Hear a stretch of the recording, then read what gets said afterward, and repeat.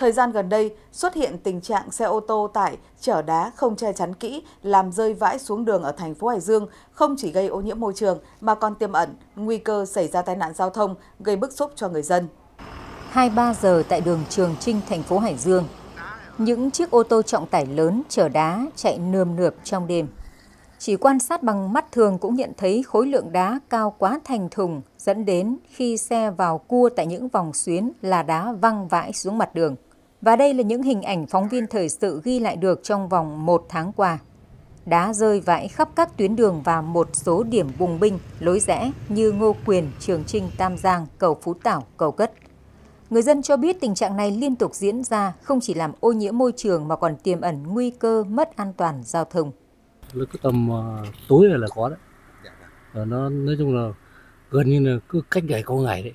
Ồ, quá nguy hiểm, ô tô nguy hiểm nữa anh rơi xe máy. Ô tô tôi đi nhiều hôm nữa nhưng mà anh em nào mà không quen đường là cũng nguy hiểm á.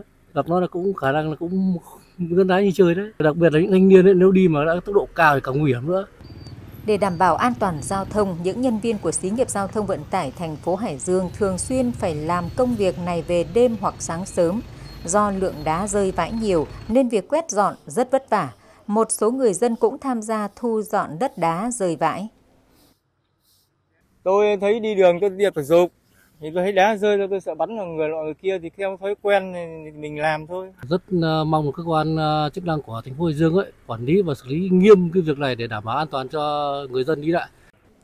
Trong thời gian một tháng qua, tình trạng các xe ô tô tải làm rơi vãi đá khắp mặt đường ở nhiều điểm không chỉ gây ô nhiễm môi trường mà còn tiềm ẩn nguy hiểm cho người tham gia giao thông, nhất là người điều khiển xe máy. Điều 20 Nghị định số 100 năm 2019 của Chính phủ quy định xử phạt vi phạm hành chính trong lĩnh vực giao thông đường bộ, đường sắt quy định rõ mức phạt tiền từ 2 triệu đồng đến 4 triệu đồng đối với một trong các hành vi chở hàng rời, vật liệu xây dựng dễ rơi vãi mà không có mui bạt che đậy hoặc có mui bạt che đậy nhưng vẫn để rơi vãi. Ngoài việc xử phạt bằng tiền, người điều khiển phương tiện vi phạm buộc phải thu dọn vật liệu, rác, chất phế thải và khôi phục lại tình trạng ban đầu.